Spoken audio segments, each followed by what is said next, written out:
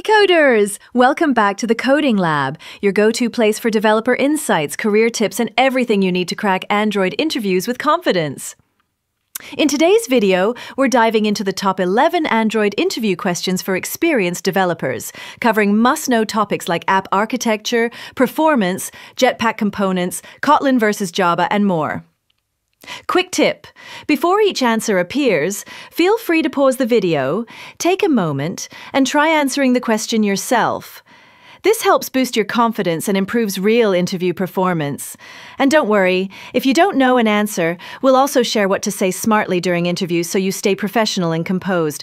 Want more details on any of these topics, including code examples, deeper concepts, and learning resources? They're all listed in the description below, so make sure to check it out. Oh, and one more thing. We've also added some paid course suggestions for those of you who want to prepare deeply. Links are in the description.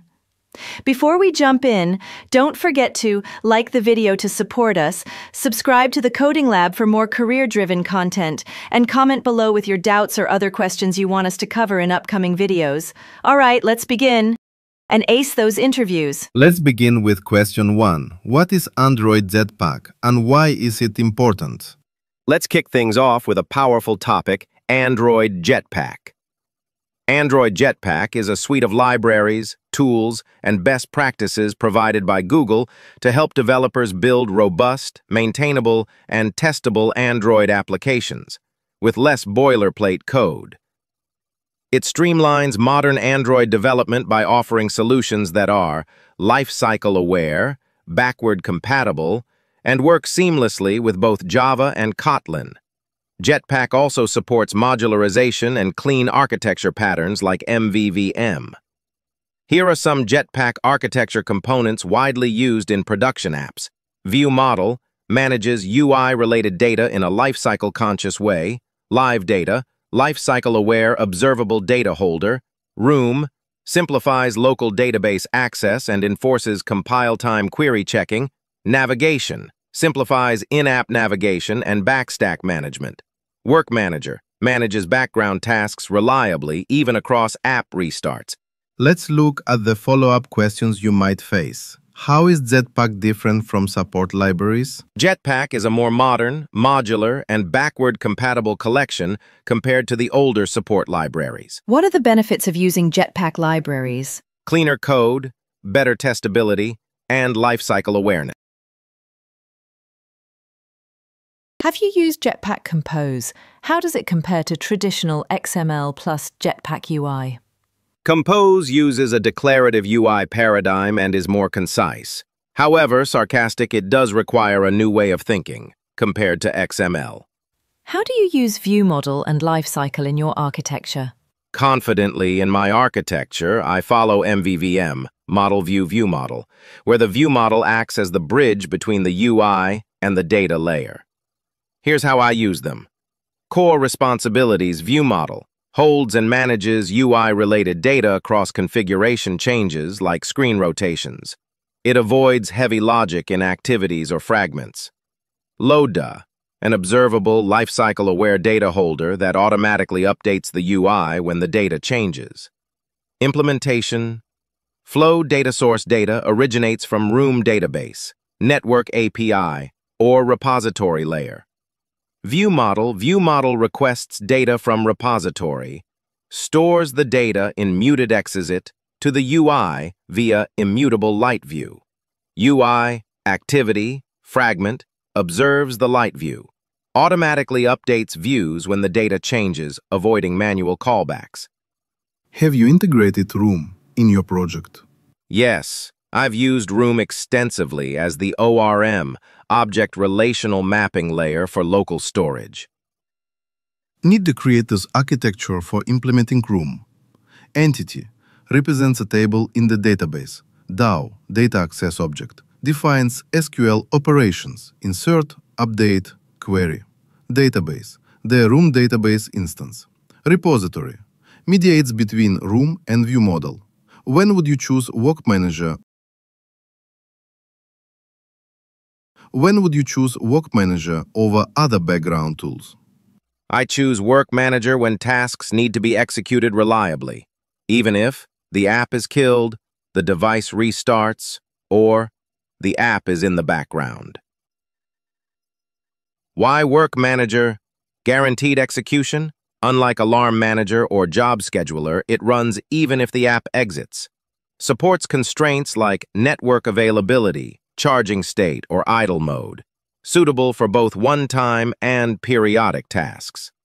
Syncing data with a server periodically, uploading logs or analytics when the device is charging, backing up local data to cloud storage, when to prefer Work Manager over Alarm Manager when you need guaranteed execution and don't want to handle device restarts manually. Over Job Scheduler, when backward compatibility is required, Work Manager works on API 14 Plus. Over Firebase Job Dispatcher, Work Manager is now the recommended replacement.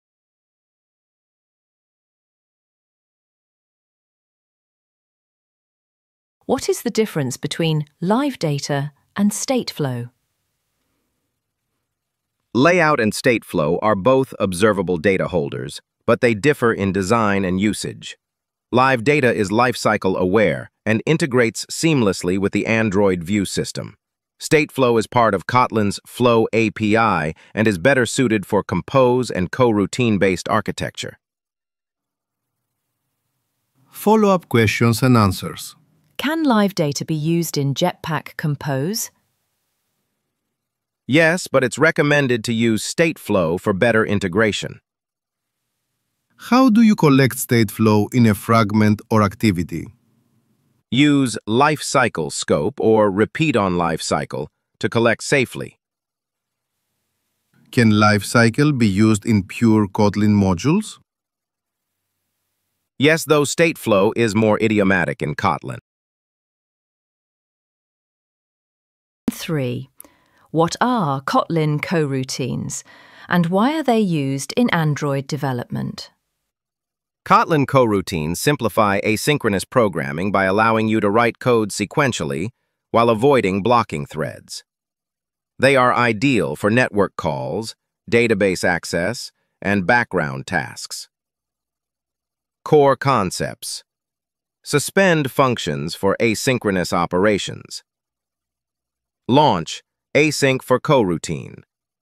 Scopes, dispatchers for switching threads, main, I.O., default. Follow-up. Questions and answers.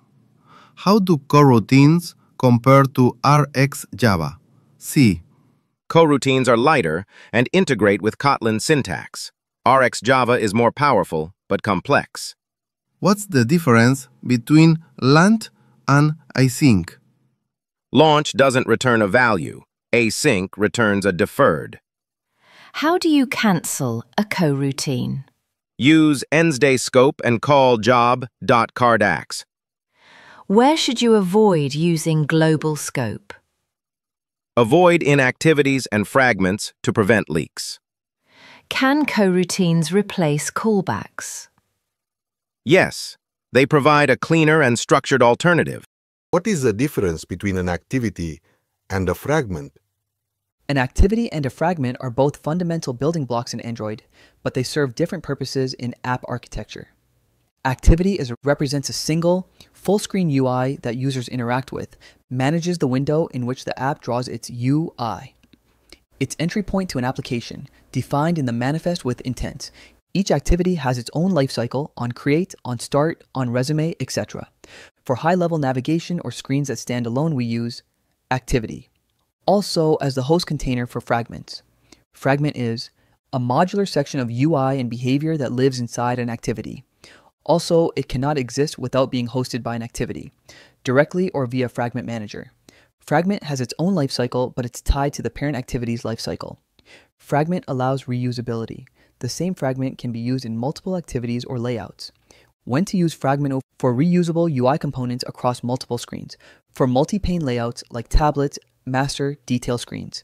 When you want dynamic UI updates inside a single activity. Can a fragment exist without an activity? No, it must be hosted inside an activity. How do fragments communicate with each other? Either through the hosting activity, a shared view model, or the navigation component. What is the fragment backstack? a mechanism maintained by Fragment Manager to handle navigation and allow the user to go back. When should you prefer the navigation component? For complex navigation flows, deep links, and safe argument passing. How does dependency injection function in Android? DI helps provide dependencies from the outside, improving testability and modularity. Android recommends using HILT. HILT simplifies setup using annotations like at inject, at module, at provides, and handles scoping. Follow-up questions and answers. Benefits of HILT over Dagger? Easier setup, less boilerplate, lifecycle integration. Difference between at singleton and at activity scoped? Singleton lives for app lifecycle. Activity scoped is per activity.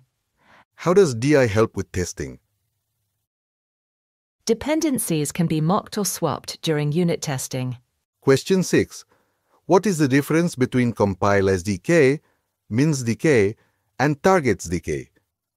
Compile SDK version. API level used to compile the app, min SDK version. Minimum Android version. The app supports target SDK version. The version app is optimized for. Question 7. What are sealed classes and how do they differ from enums? Sealed classes allow you to represent restricted class hierarchies, which are great for representing states or results. Follow-up questions and answers. Why prefer sealed class over enum? More flexible and can hold different data types. How does the statement work with sealed classes? Exhaustiveness is checked at compile time. Can sealed classes be extended outside their file? No, they must be in the same file. Question 8. What is the difference between recycler view and list view? Recycler View is a modern, flexible alternative to List View with better performance and customization. Follow-up questions and answers. What is a view holder? A pattern that recycles views to improve performance. What's the role of diffutil? Efficiently updates only changed items. Question 9.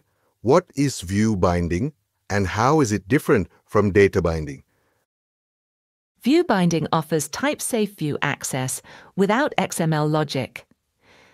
Data binding supports binding expressions, observables, and logic in XML. Follow-up questions and answers. When to use one over the other. Use view binding for simple UI, data binding for complex bindings.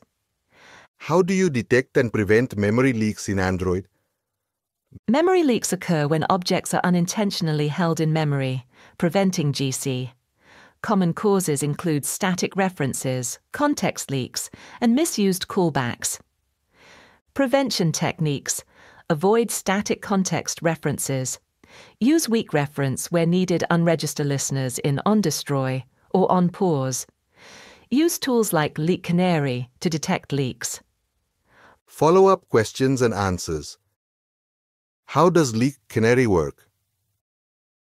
It monitors heap memory and alerts when activity leaks are detected. What impact do memory leaks have? Increased memory usage, crashes OOM, and degraded performance. How to prevent leaks in view model?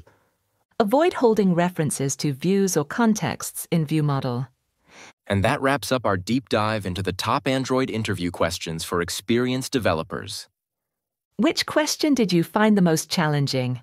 Or which one do you think interviewers ask the most? Drop your thoughts in the comments, and I'll personally reply or even make a follow-up video if you want more clarity. If this video helped boost your confidence for interviews, don't forget to like the video. It really supports the channel.